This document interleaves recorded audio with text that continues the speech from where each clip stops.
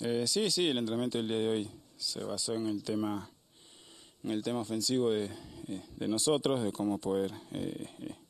atacar a un, a un gran rival como, como es Cristal el día sábado, así que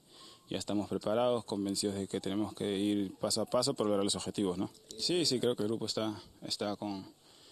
con las ganas de que ya sea sábado, de poder jugar con, contra un gran rival, un rival directo para nosotros en el objetivo que queremos. Eh, creo que venimos en una racha positiva muy importante y un crecimiento muy bueno.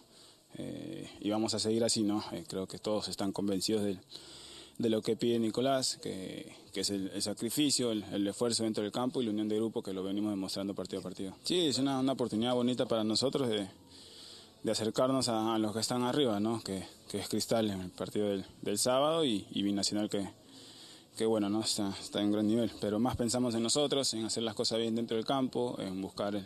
eh, los tres puntos que, que, es fundamental para nosotros y en el tema, en el tema anímico también muy bueno. ¿no? Sí, sí, el profe eh, en, en, la semana, eh, previos a los partidos, pone videos de, de, los equipos rivales.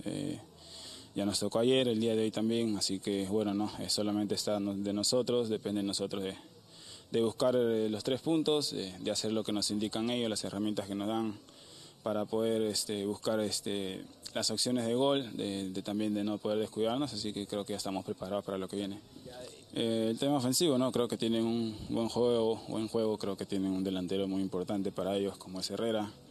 eh, eh, al medio jugadores de, de, buen pie, caso de, de Calcaterra, de, de Loba, de Cazulo, también está Titino, así que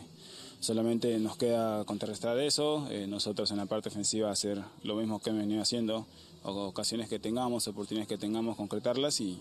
creo que va a ser un lindo partido, un buen espectáculo para, para la gente, eh, lo importante que va a ser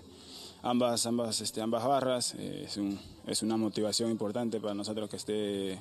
la trinchera con nosotros apoyándonos, donde nos da un, una un momento anímico muy importante, así que solamente nos queda durante los 90 minutos matar por, por la U y tratar de buscar los tres puntos.